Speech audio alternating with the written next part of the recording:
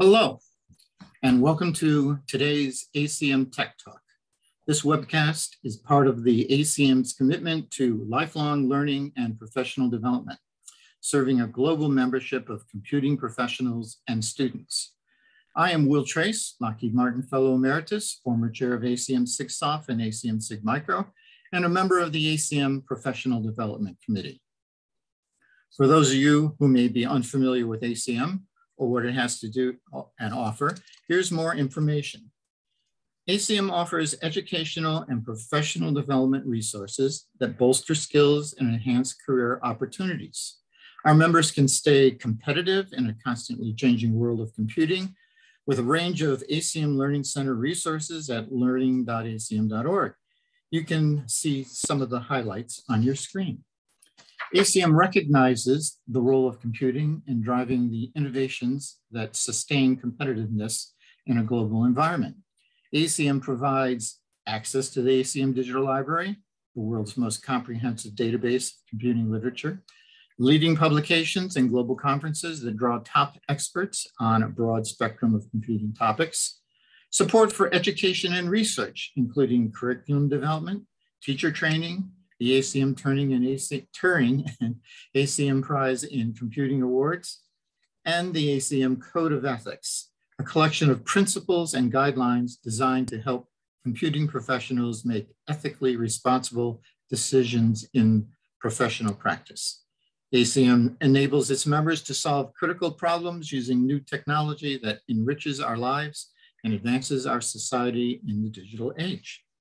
Before we get started, I'd like to quickly mention a few housekeeping items shown on the slide in front of you. If you have any questions at any time, please type them in using Zoom's Q&A feature. I'll organize the questions as Margaret speaks, and we'll try to get to as many as possible. The session is being recorded and will be archived. You'll receive an automatic email notification when it becomes available. And check learning.acm.org for updates on this and other upcoming webcasts. At the end of the presentation, you'll see a survey open on your screen. Please take a minute to fill it out and help us improve our tech talks. Today's presentation is Seismic Shifts, Challenges and Opportunities in Post-ISA, Era of Computer System Design by Margaret Martonosi. Margaret Martonosi is a Hugh Trumbull Adam class of 35 professor of computer science at Princeton University. Her research interests are in computer architecture and hardware software interface issues in both classical and quantum computing systems. Dr. Martosi, Martonosi is a member of the US National Academy of Engineering and the American Academy of Arts and Sciences. She is a fellow of ACM and IEEE. She was the 2021 recipient of the ACM Eckert Mauchly Award. Margaret, without further ado, take it away. Uh, thanks so much. And uh, I appreciate everyone who's taken the time to join. Uh, let me get my screen shared.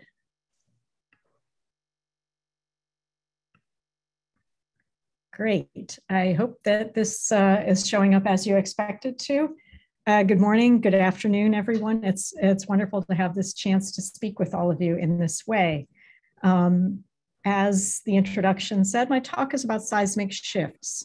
And in particular, I use this picture here often to speak about the changes in our computing landscape um, because this is an area in the western United States in which sedimentary rock layers used to be layered one on top of each other, um, but over time got tilted, got seismically shifted. And it seems as if we're going through a similar kind of set of shifts in the stack on which we have built computer systems for many years. Uh, so my talk will talk about how this is playing out both in the classical and in the quantum side of the landscape. So without further ado, here we go. Uh, probably many of you are familiar with the notion of Moore's law, uh, that notion that uh, the number of transistors that we could cost effectively fit on chip would scale double roughly every 12, 18, or 24 months, depending on when you looked at Moore's law. Uh, and this graph shows 40 years of that trend data. Um, and so basically a lot of what you see here might not be news to you. There are the transistor scalings, you can see how other indicators of microprocessor trends have shifted already. For example, the number of logical cores on a chip. So while this isn't maybe new to many people, I think what is less talked about is how these factors, the shift to parallelism and the shift to heterogeneous parallelism in particular, has essentially hindered or broken how software scales in performance, reliability, security, and cost. And in particular, uh, if I want to sort of take another trip in the Wayback Machine, actually roughly the same year that Gordon Moore was sketching out Moore's Law, the term computer architecture was coined. And you can see that it was coined in this Amdahl, Blaauw, and Brooks uh, paper from IBM in 1964 down here in the footnote, which I've sort of blown up here, it's this notion of hardware software abstraction, the architecture being the attributes of the system as seen by the programmer and the value of that abstraction in allowing different hardware implementations to run the same software. Uh, so that was over 50 years ago now.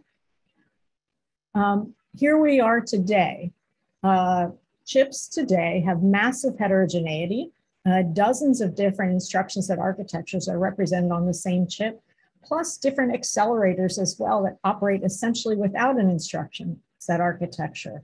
In addition, there's different types of memory and data heterogeneity, and there's different types of memory consistency models. So if there was a notion that we have one uh, sort of language that the chip speaks and one software interface for it, we have lost that notion over time. Uh, and it's time to re-examine how we program software and how we build systems in response to this. So to sort of put this in clear uh, perspective, uh, we're entering what I brashly call a post-ISA world. Uh, that is to say, instruction set architectures, that hardware software interface that we've talked about, those are still useful, but they aren't the enduring and universal abstraction layer that they used to be. And we, we've now gone years since the point at which, um, for example, in the Apple processor series, um, it's been nearly 10 years that over half of the chip area has been devoted to accelerators that have no ISA at all. And in other systems, we're also seeing the instruction set architecture get hidden under other abstraction layers. And so as we as a field consider this post-Moore, post-ISA future, we have to ask ourselves some questions and then as researchers go and answer them. So how should we, how should we um, sort of think about programming these highly heterogeneous, highly heterogeneous systems? And how should we manage the complexity of fast changing hardware and software, given that we've lost the abstraction that used to buffer us from some of those fast changes? And also what technologies come next and how will they um, present new challenges of this sort to us? So in terms of end of Moore systems, I want to bring up this picture of the classical layering, if you will. It's that picture of the seismic, uh, the, the sedimentary rocks that I showed on my first slide when they were still one on top of the other. And this is perhaps a very familiar layering to many of us. Transistors down low, algorithms up high, and these layers that uh, we came over time to appreciate because of the way that they helped us abstract systems, separate out our community, play different positions in the systems building space, and overall scale up systems to great complexities and great functionality. Um, but because of the challenges that we're facing, uh, as we've lost some of these abstraction layers in the middle, it's time to rethink these layers, interfaces, and abstractions. And in fact, what we're already seeing in many cases is a shift towards these more application specific tool flows and approaches, uh, in which we've seen this already tailoring for particular application domains. A sort of early and perhaps familiar example of this would have been uh, TensorFlow and, and TPUs, right? Where uh, we take uh, a high level programming language or programming environment and we drill all the way down to a particular implementation. Uh, but there are many more and there's many more possibilities here. And so what I wanna do is sort of take you on a tour of some of the work uh, in my group where we're exploring these different things in the context of particular examples. So one example is looking at graph analytics. So where there's been a tremendous amount of progress lately in terms of uh, dense matrix computation, uh, graph and sparse computations remain challenging for many different computer systems. And in particular, uh, one aspect of them that remains challenging are uh, memory bandwidth and memory latency issues. Uh, so we can build accelerators for certain parts of certain computations. Uh, we tend to, as we accelerate the compute, we tend to see increasingly large relative bottlenecks on the memory. And of all the things that we're challenged by, one of the things that is particularly challenging has to do with the operating system managing the pages for these very large data sets with sparse and irregular access patterns. So what we see empirically is that graph analytics codes have very high TLB miss rates, translation look-aside buffer miss rates that cause high address translation overheads. Um, one technique that has been used over the years uh, to address those high TLB miss rates is called huge pages. And the name is pretty much what you think it is. It's a way to promote uh, the use of pages that are much larger than the handful of kilobytes that is the default in many operating systems. The challenge is when to use huge pages and how to develop policies for using them wisely. Uh, and so um, the graphs over here on the right, the top graph is basically to motivate the degree uh, to which uh, graph analytics actually have high miss rates uh, even when um, huge pages are possible, these transparent huge page options. Um, the problem in many cases is that modern OS policies use huge pages often too often due to a lack of application knowledge, due to a difficulty in predicting application behavior because of the irregularity of uh, these graph analytics memory reference patterns. So what we need are operating system techniques that can more intelligently manage huge pages in a way that is application or domain tailored. And in this case, we're looking at the domain of graph analytics. Um, and so what we can see from the bottom graph over here is here's a baseline without transparent huge pages in blue. And then in orange is a sort of default Linux use of transparent huge pages on a set of graph algorithms, so breadth first search and so forth. Um, what you can see is that in cases, and, and speed up is uh, the y-axis, so higher is better. And so what we can see is that for many of these cases, using transparent huge pages can actually uh, slow things down, uh, speed up less than one, uh, if memory is constrained, because it ends up uh, over uh, allocating relative to the memory that's available. Uh, so the example that I'm talking about here, the example of our work here, is to say that the challenge that transparent huge pages face is how to decide what to promote in terms of hot pages of data uh, when different types of access patterns are all mixed together. Within a graph, there could be some high degree nodes that get uh, accessed frequently, some low degree nodes that get accessed infrequently, and if those are on the same operating system page, it's very hard to know what to do with that page. Should it be huge or should it be small? Uh, so in our work, what we've done is use prior works um, for pre-processing the data to try to sort based on our best estimate of what will be high degree data and therefore frequent access pattern. And then couple that pre-processing with dynamic uh, promotion that says we're only going to promote to use these huge pages in cases where we see the, the sort of the amount of memory fragmentation that indicates it will be useful. So it's basically both uh, doing promotion based on the application and based on the context of how much memory is being used. When we put those two together, uh, we find that we get considerable speedups uh, over uh, other default approaches. So close to a 2x speed up over uh, the, the small default pages of 4K pages alone, and close to the ideal transparent huge page performance while using a much smaller amount of the application footprint actually backed by huge pages.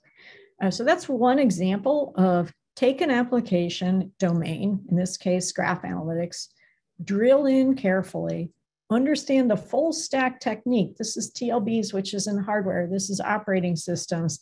This is a bit of data sets and algorithms. And then come up with optimization uh, pipes that go from algorithm to implementation in a way that's tailored for a particular application. The second one, also in this area of smart, sparse and graph applications, takes this idea further. It recognizes some of the same challenges, very little compute per uh, cache line, very little data reuse, uh, many accesses that go out to main memory, a lot of energy spent on those memory operations. And where prior work has often mitigated the memory latency, the bandwidth and synchronization challenges in these kinds of applications remain a problem, especially when you try to get up to very high core counts. So where the previous work on sort of adjusting transparent huge page policies was intended to work within existing operating systems, and indeed we've built it into existing Linux, this one goes further and it says, what would happen if we actually could change the hardware uh, and change the programming model to work with that new hardware? And so here, uh, what we're doing is looking at a, a, new execution model and hardware that get put together.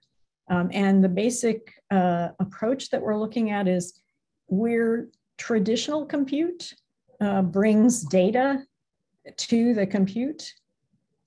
Uh, our approach uses a data local program execution model that basically says uh, there's a certain amount of data that lives with each tile and when there's a computation that needs to be done on that data, it should be done by the tile that owns that data. Now, over the decades of parallel computing, there have been different aspects of data local compute. What we are resurfacing and re-examining here is the opportunity that we see because of the scale that's possible, either with wafer scale computation like Cerebras or with chiplet based approaches that can really scale out the number of processors and make these kinds of techniques newly interesting and newly important. Uh, so in this case, uh, the tiles themselves uh, can execute any task. Um, what distinguishes who does what is based on where the data lives. Uh, when we apply this to, again, that sort of family of large scale graph analytics problems, uh, what we see is that we can dramatically scale up the throughput uh, in terms of compute, uh, which is in red, operations per second, and in terms of the, the successful memory bandwidth, which is the blue here.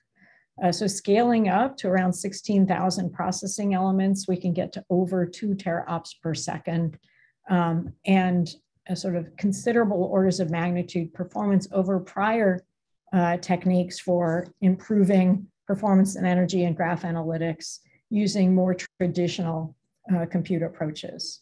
Um, the idea here is for sparse applications to reach the true limit of compute and network resources rather than being memory bottlenecked. Um, and there's a range of both application, compiler, and hardware uh, uh, tricks or techniques that are involved in achieving this that I won't have time to dig into in detail. Um, but the, the key idea is to sort of recognize again the opportunities that come from exploring a full stack approach. Uh, so here we are, uh, you know, with this sort of rethinking full stack approaches. I wanted to give, this is the ultimate and quick tour um, you know, if you had asked me to give this talk maybe three, four years ago, I would have taken you on a tour of a set of verification and security check tools that we developed in my group, again, with this notion of full stack approaches. I'm not going to have time to talk through this, but it's more of that same approach of trying to work through how do new layering strategies impact the key aspects of performance, energy, reliability, programmability, in our systems today and going forward. So this is basically a pointer. If you're curious, you can check out this website for more information on this fam family of work. So that's, I, I, promised you a whirlwind tour and uh, we're on track for a whirlwind tour. Um, we've gotten through some aspects of this first set of questions, how to program uh, for the the sort of end of Moore's law era that we're in on the classical side and how to manage the complexity of what has become very fast changing hardware and software. Um, but the other interesting thing uh, to me and to my group has been answering the second question of what technologies come next and how can we bring to bear computing systems, computer architecture techniques on very new types of technologies as well. So let's go back to this graph, decades of Moore's law scaling as before. Oops. Uh, so this is sort of 1970 to 2020, and this is mostly semiconductors. But what's interesting is to take this and put it into that a much longer context, a much longer timeline. And that's this. So instead of starting at 1970, this graph starts at 1900. And this graph goes way out. And what it what it shows on the y-axis here, so x-axis is time as before, what it shows on the y-axis here is calculations per second per thousand dollars. So if you think back to what Gordon Moore was actually trying to articulate with Moore's law, what he articulated with Moore's law was a statement about the cost effectiveness of different transistor densities over time. Uh, and this graph is in many ways a similar statement about cost effective calculations per second over time. Uh, and so you can see that we've actually been um, on an amazing performance scaling journey that isn't just about the transistor era, the, the Moore's law era, but actually reaches far back into electromechanical systems and basically aims us towards a set of questions. Here we are, and so the 2020 and beyond era. What will be next to keep us on this kind of curve? What opportunities will we have? And um, in what ways will that disruptive moment be helpfully disruptive? And what ways will that disruptive moment um, be challenging to us. And so from that, uh, there's different possible options, right? Uh, some people are looking at different kinds of DNA computing devices. Some people are looking at different kinds of optical computing devices. Um, in, in my group, over the past 12 years or so, uh, we've increasingly been trying to understand uh, the role of computer architects in advancing quantum computing as a possible um, having a possible role in answering these questions of cost-effective compute over time.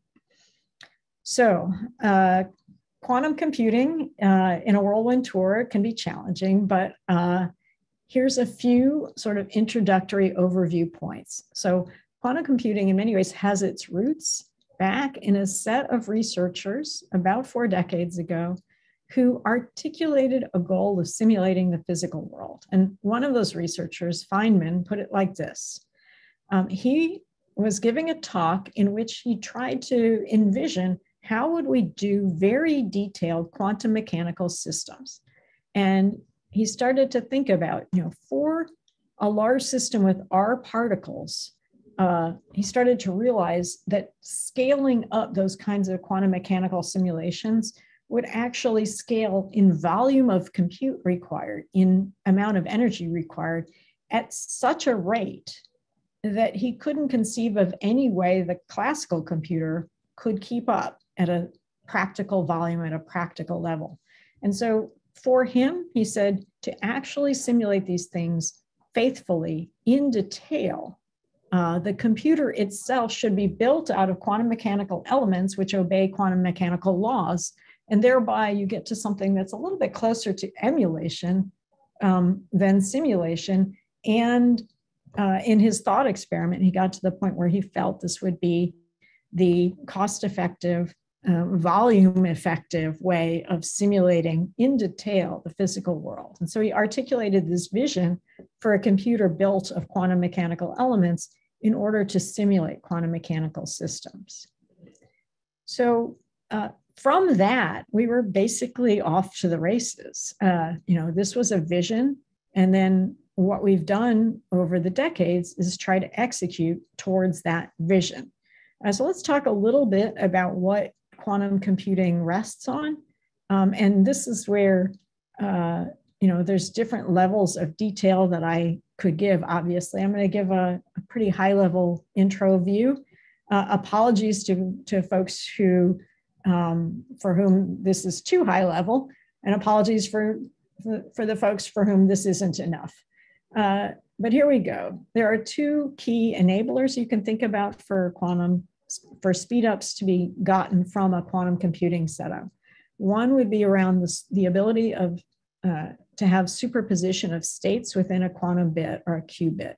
Um, so the idea that is often sort of put forward is that a qubit isn't just one or zero, but it is some probabilistic superposition of states. Um, and in that large and probabilistic representation of possibilities, the state space scales much faster with each qubit um, than in a binary system where it truly is either one or zero and nothing else. The second thing that is a key enabler of quantum speedups is called entanglement, entanglement of states between qubits. And this is the notion that there's correlation between qubit states once entangled. And Einstein refers, referred to this as spooky action at a distance. So um, here's a, a, very high level uh, attempt to be intuitive about the notion of entanglement of states between qubits. Uh, let's imagine that we have two coins um, and so entanglement has never been demonstrated on anything as large as a coin, but let's imagine for a second that we have two coins and uh, we do something to them. We have an operation that allows us to entangle their states. Uh, and that in quantum computing is roughly speaking a gate operation that, that imposes some degree of entanglement. Uh, once they are entangled, for some amount of time after that entanglement, their states are correlated. And so if I separate them, uh, their states remain correlated such that if I look at one of these coins and see that it's heads, I get some information about whether the other coin is heads or tails, even though it's very far away. And it's that notion of entanglement uh, that that uh, actually adds to the capabilities of these quantum systems. So together, these properties support novel algorithms, completely different ways of thinking that can explore large, represent and explore large state spaces faster, sometimes exponentially faster than classical computing. So where are we? Um, I mentioned uh, Feynman's vision back in the 80s. Uh, but another key sort of milestone in quantum computing uh, was Shor's factoring algorithm in the 1990s, and similarly, Grover's algorithm. So I've shown those two um, in blue on this graph. So this graph is a timeline, 1995 to the present and beyond. Um, and in blue are the different algorithmic milestones that we've reached. In yellow are some of the a sort of very rough line showing some of the implementation milestones that we've been reaching uh, in terms of qubit counts. So the yellow is sort of the qubit counts that we know how to build. Uh, and the blue are our best estimates of the number of reliable qubits that we will need in order to implement these algorithms at, let's call it interesting levels. So for Shor's factoring algorithm to be implemented in a way that actually could decrypt something um, encrypted for commercial purposes today, we would need tens of thousands uh, or even millions of reliable qubits. Uh, so clearly there's a big gap between the needs of Shor's algorithm and the yellow line that we see here. One set of advances that we've seen are a set of new algorithms that came in roughly 10 years ago uh, that started to show that there were opportunities for uh, other ways of other types of algorithmic approaches in quantum that had much lower qubit requirements. And so there's some promise there. Uh, what we have sort of entered now is an area, is an era that uh, Preskill refers to as noisy intermediate scale quantum, which is sort of this 10 to 1000 qubits. Uh, it's too small for things like Shor's algorithm that are sort of opined to have exponential speedups, uh, it is um, largely too small for error correcting codes, although we're starting to see a lot of progress on ECC these days in quantum systems. It is large enough to support interesting experiments without ECC, And in fact, there's a range of cloud connected quantum platforms that we can all make use of and that have been profoundly impactful on our ability to think about computer systems solutions to what's next here. So there's a gap. And if you're a computer systems person, then you look at gaps like that between algorithms and devices and you say, well, how can we help? How can we pitch in? And so quantum programming and design tools that shrink this gap can move the feasibility or the usability point uh, for quantum computing years earlier, either by reducing algorithm qubit requirements or by improving the effectiveness of hardware qubits, or by simply making use of systems in novel ways. So just as I gave some examples on the classical side, I'm going to step through a couple examples on the, on the quantum side of things for how we might go forward and do some of this. So uh, one of these I would call mind the gap. Uh, and as I said on this previous slide, these NISQ quantum systems, we can use them, but they're pretty small to use for things that are uh, sort of commercially useful, that are sort of better than um, the classical alternatives and so forth. And so uh, one question is, uh, if most algorithms require a large and reliable quantum processing unit or QPU, um, but building those quantum processing units is still challenging, um, how can we make use of smaller QPUs in a patchwork quilt kind of way? And so I, I want to um, sort of pause here and say, say something about how we measure the capability of quantum systems and explain this perhaps non-intuitive or surprising statement here. Uh, so there's a notion, there's different ways that you could sort of quantify the capability of a quantum system. You might try just counting qubits and seeing how you do. But it's been sort of demonstrated that counting qubits isn't the only or the best way to quantify the capability of a system. Because if you have a few really good qubits, that might be better than a lot of uh, noisy or less well-behaved qubits. And so, for example, within uh, the set of um, computers that are uh, made available uh, by IBM, uh, there's a smallish one, a 27 qubit uh, machine that actually has twice the capability, or as it's termed, the quantum volume of a much higher qubit count uh, machine within the same family.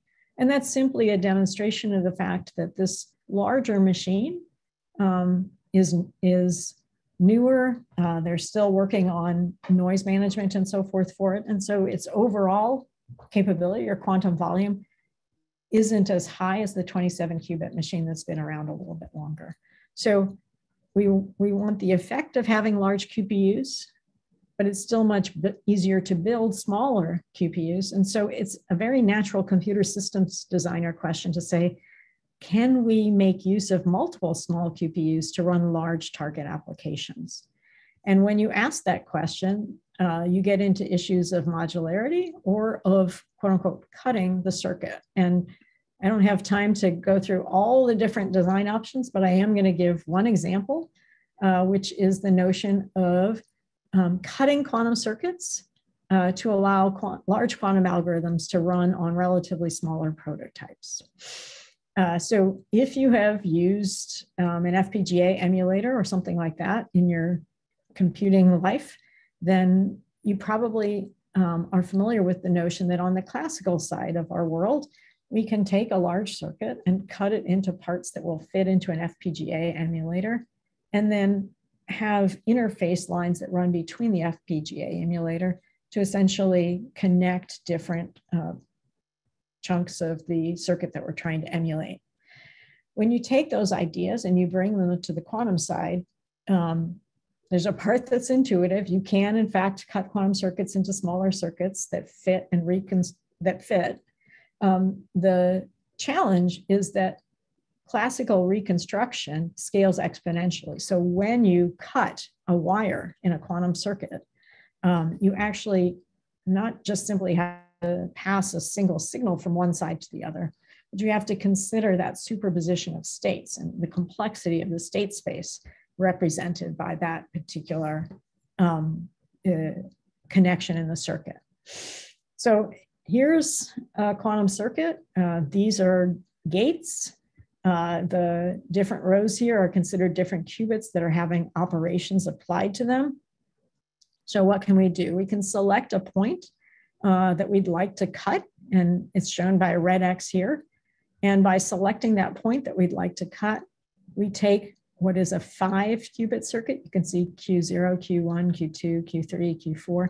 So this full thing is a five qubit circuit, and we can instead have uh, two subcircuits, each of which require no more than three qubits apiece. Uh, and then the red indicates a need for this reconstruction. Um, this reconstruction is basically a really high-end uh, tensor computation. Uh, and so the classical reconstruction, so once you decide you want to go down this path, you solve some problems on the quantum side by sort of creating uh, an HPC problem on the classical side, on the classical side. And our solution there has been to try different approaches. We first tried a parallel processing uh, reconstruction step on, um, on regular CPUs, and then we tried a GPU-based approach um, that really takes advantage of GPUs being optimized for these kinds of tensor computations. Uh, so what we see is that we can now actually extend the scale of um, the kinds of circuits that can be simulated relative to simulating them on classical systems alone. We're starting to be able to extend the scale to the point where um, this is a really interesting alternative. Uh, I won't get into lots of detail, um, except to say that these are four different modest circuits that we're taking to up to 100 qubits. And then we cut and run them uh, with different kinds of uh, GPU reconstructions. So sorry, CPU or GPU reconstructions. Uh, the, the y-axis in all of these is time, so lower is better. And so what you can see are that the, the, the GPU-based reconstruction is the, the fastest back end, and we can reconstruct up to fairly large circuits. Um, we can also use uh, this approach to focus computation on just the parts of a quantum prototype that have the best noise behavior. And in so doing, we actually get higher fidelity than if we used a single large monolithic QPU where we had to use all of the qubits, not just the good ones. So we can either make it faster than classical simulation, or we can use it to be selective about which qubits to use. Um, but we are really um, sort of optimistic about the role of these kinds of techniques in advancing through this uh, noisy intermediate scale quantum or NISQ era. Uh, so, you know, in a single takeaway, it's that um, a, a, small quantum circuit plus our CutQC approach can be better than a large quantum circuit in different ways. So, uh, moving along, um, let's go back to uh, this notion of uh, sort of an analogy, if you will. Um, so quantum systems today, uh, you've seen this layer chart a few times in my uh, talk already.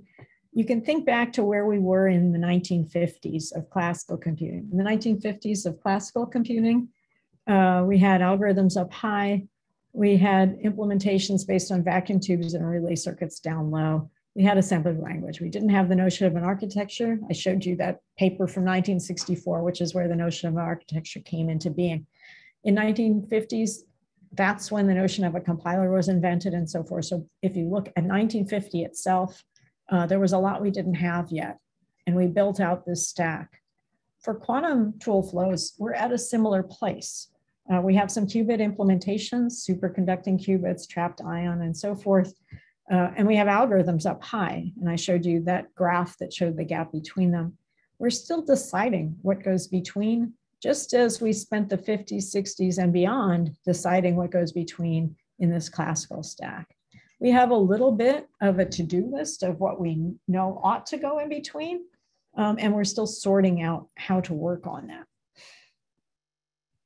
So I want to give one more example here that really gets to this notion of sort of sorting out some of this, and in particular, thinking about these full stack um, approaches, very similar to the full stack examples that I gave on the classical side.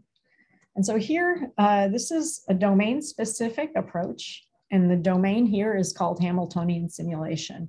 And Hamiltonian simulation, in a nutshell, is back to that problem from a few slides ago that really motivated Feynman in the first place. How, how might we simulate quantum mechanical systems in detail, he said. And his answer was, oh, we could use uh, we could use quantum mechanical elements. Uh, so that's how far he got. Uh, but the question is how to actually act on that and how to use our understanding of algorithm and application trade-offs uh, to design different systems accordingly. And as we've drilled into this, one of the things that we've found is that often there are choices that allow you to improve algorithmic accuracy, but they come at the cost of what are called deeper circuits or circuits with more gates. And in the noisy era, the more gates you have, the more noise compounds. And so you're basically if you insist on high algorithmic accuracy, it will come at the cost of imposing noisiness down the line in the implementation. So we come to this crossroads where we have a real issue of how to co-design between um, uh, how to optimize for algorithmic error and how to account for device error and come up to a balancing point. And so um, what one of my PhD students observed was the opportunity to uh, work on both in a way that allowed us to balance both of them.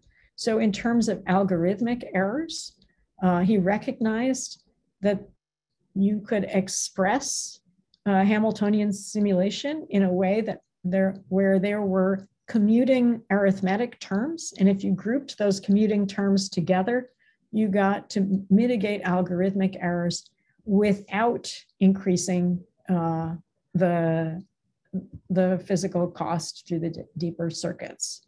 Second of all, he found ways to mitigate the lower level device errors by sorting those terms using a traveling salesman problem.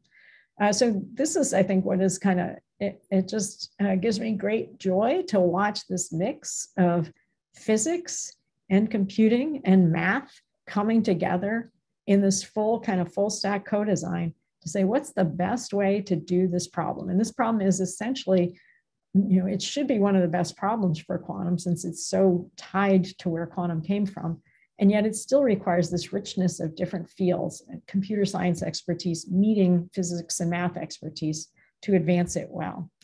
Uh, so uh, we implemented this, uh, this balancing act.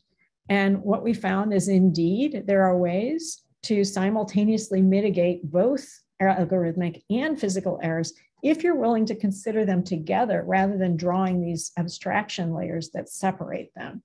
And uh, so for yet another uh, time, I won't be able to go into detail, but the basic idea here is that uh, MCTSP is this work that mitigates um, both the algorithmic errors through those um, commute approaches and the low level device errors through the traveling salesman approach and it's able to bring down the gate cost tremendously. So it is this lowest of the blue lines.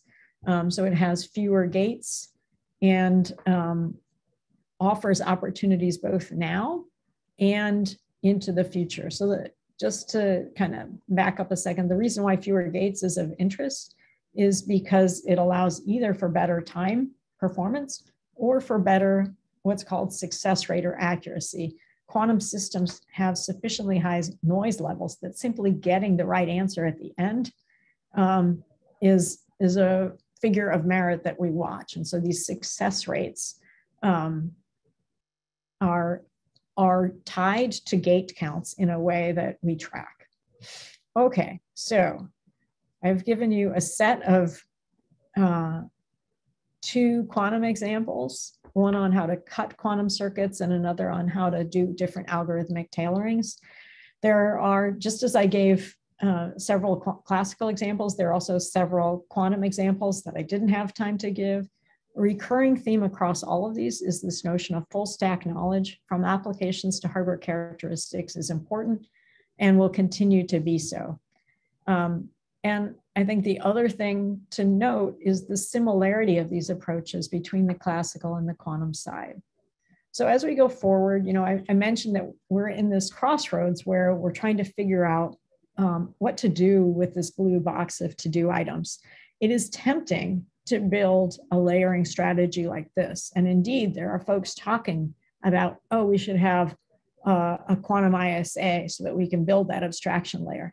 The minute you build that abstraction layer, you lose the opportunity uh, for some of the full stack optimizations uh, that we have found so beneficial. Uh, so the challenge really is in this in this world of very tight resource constraints and frankly very challenging ability to get benefits out of uh, qubits that are often on the noisy side. We need more information flow up and down the stack in order to do the kinds of optimizations that i that i briefly spoke through here. So another opportunity is to take this quantum tool flows and to allow information flow up and down the stack about error characteristics, about communication latencies, connectivity, and so forth, application characteristics. And you saw that in the Hamiltonian simulation example. It was the willingness to consider algorithmic approaches and device approaches together that allowed us to get those wins. And had we kept them sort of rigidly separate across abstraction layers, we wouldn't have been able to. And so this, it can be surprising when an architect, um, you know, gives a talk and says, uh, this might not be a good idea. We might need these application specific and full stack approaches. Um, it can be surprising, but then again, think of classical accelerators that have, that have also shifted that way, as I said in the first half of the talk. And so where are we? Um, well, quantum computing is not uh, solely Moore's law replacement. Um, it's unique special purpose hardware uh, it has promise on certain focused applications. It is potentially game changing. Um, and for its particular um, place where it shows promise, it could literally make the intractable tractable. We're also seeing cases where lessons we learned in the quantum side of our research are flowing back and driving innovation on the classical side as well. So we're seeing a lot of benefit in going both directions. Uh, within my group, we have both classical and quantum folks working. And we can see all the places where we're learning across that boundary. It's clear that a full CS ecosystem is needed to shift quantum from theoretical to commercial. Uh, so back to this picture overall and to consider both classical and quantum systems, uh, you know, this is where we are. Um, that's not to say that the problem is solved, but it's to say that this is sort of a surprising operating point, both on the classical side, you see it in our accelerator-oriented parallelism and TPUs and Cerebras and so forth. And you also see it in our quantum cases as well. So overall, the seismic shift is in going from this to this. And I think the ask of all of us is, um, how are we going to respond to this shift most effectively? Uh, it's clear that it will require essentially an all of computing shift to accommodate it in our curricula, uh, in our systems designs, and in our programming models. And so with that, uh, thank you very much for your time and attention. And uh, I would be happy to field some questions. Thank you, Margaret. Uh, let's move on to the questions and answers now. I must say that this was an interesting talk and that there were a lot of interesting questions and I guess I'm going to start out with asking you to back up a bit and talk exactly what is noise with respect to uh, some of the people, uh, attendees were not familiar with the concept and how significant noise is in the quantum computing realm. Ah, great. So um, noise refers to the fact that in quantum computing, um, gates have errors. And, and so this comes about you know, so first of all, it's a relatively new technology. And so um, we're, we're still managing the, the, the sort of precise control that's needed.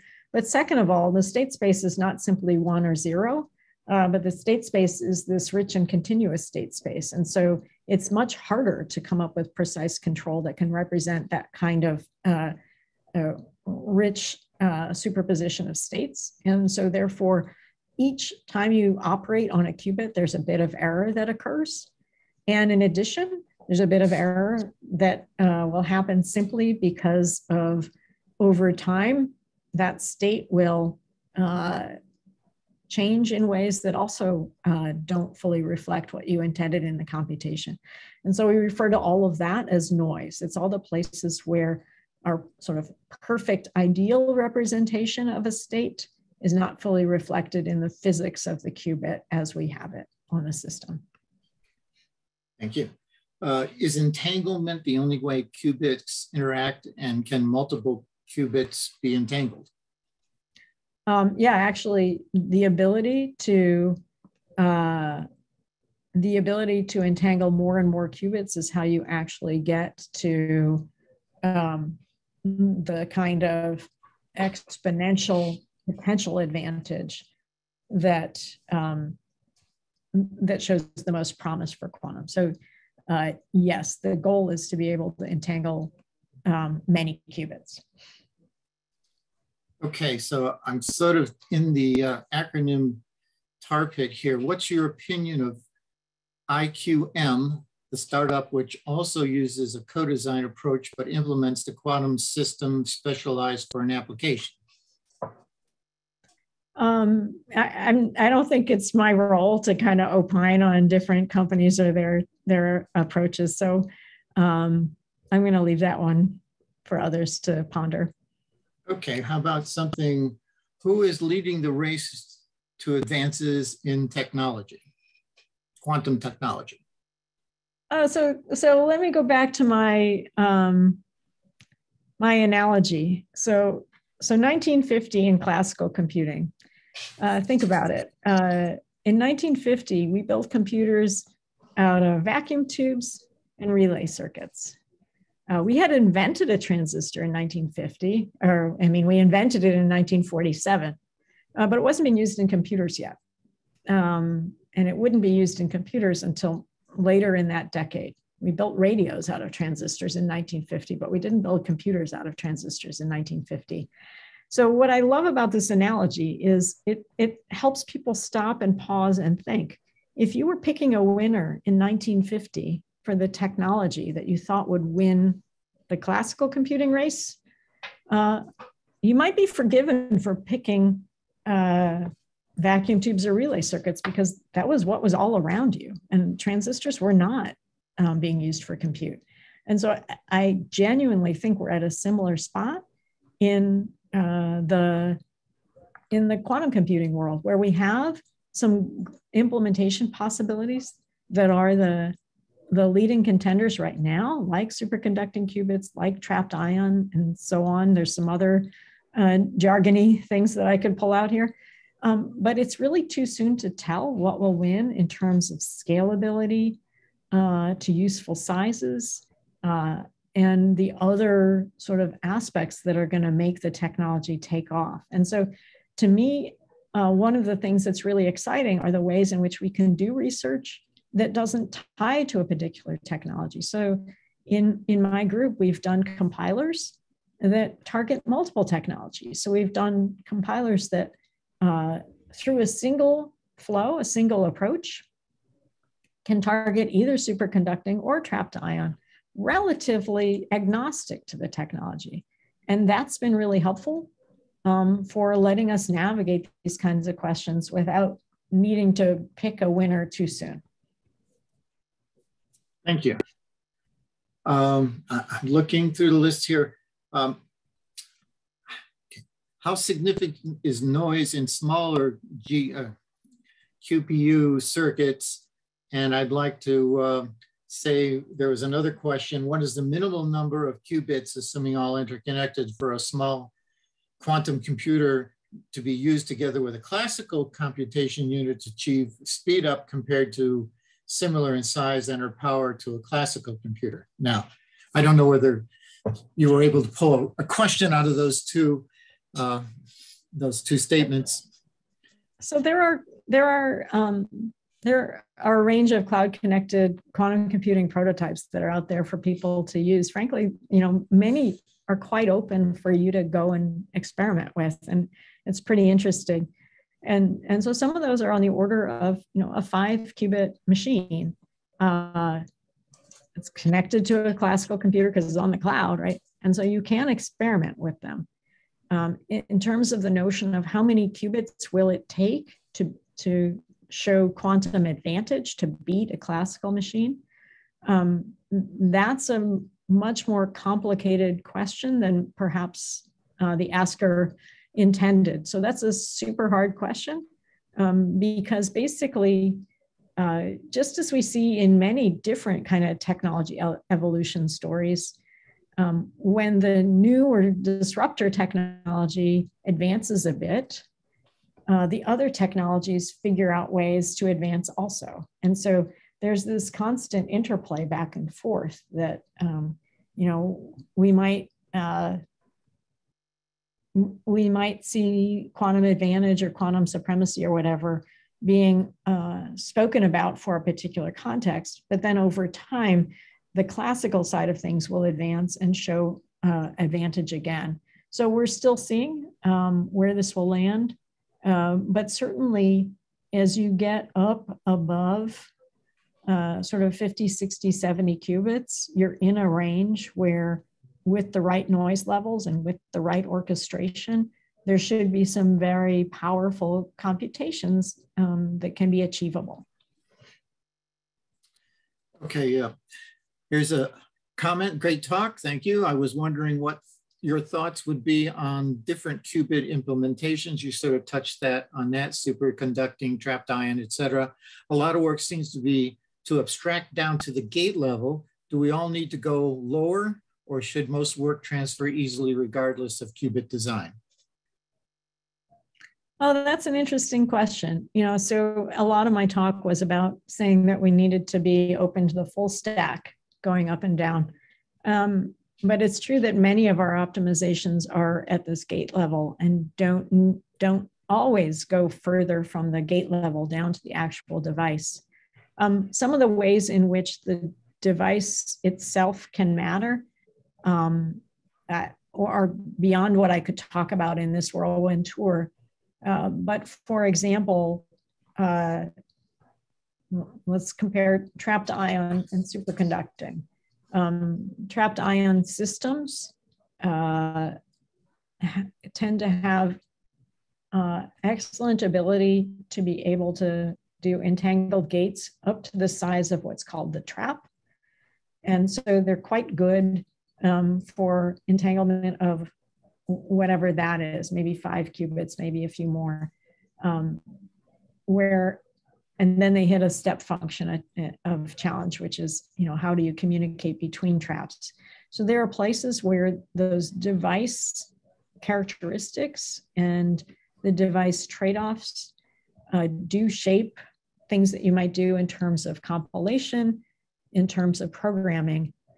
And um, in a way that goes beyond simply what the gate level can can fully express um, but it's true that many of us, much of the time, might be able to just get away with thinking about from the gate level up. Um, but bearing in mind that which gates you have access to is often tailored to the devices as well. There's, there's different quote unquote native gates that work well with different technologies. Um, do, would you recommend any resources for the interested reader to uh, access in particular conferences, journals, or uh, particular university websites?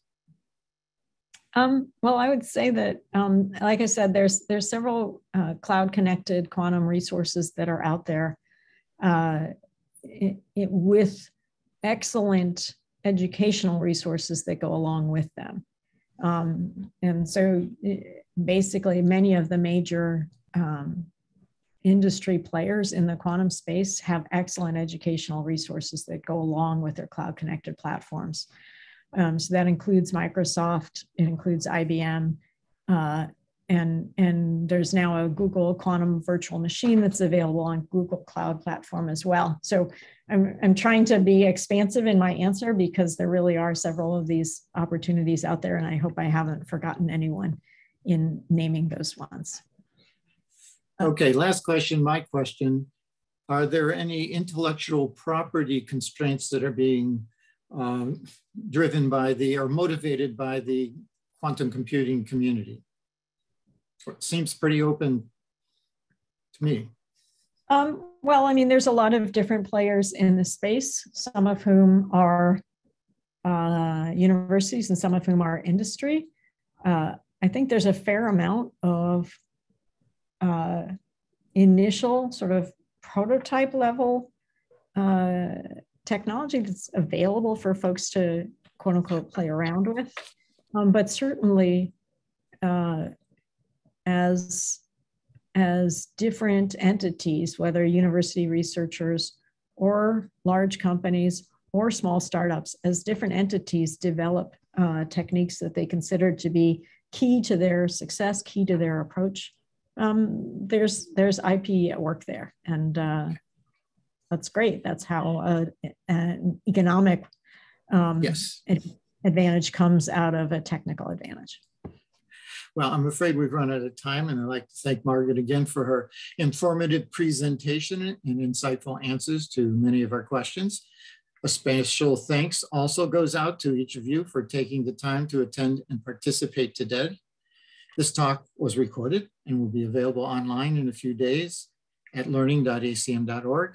You can find announcements on upcoming talks and other ACM activities at learning.acm.org and acm.org. Also, please fill out our quick survey where you can suggest future topics or speakers, which you should be seeing on your screen now. On behalf of ACM and Margaret Martonosi and myself, Will Tracz, thanks again for joining us, and I hope you will join us again in the future. This concludes our talk. Thank you.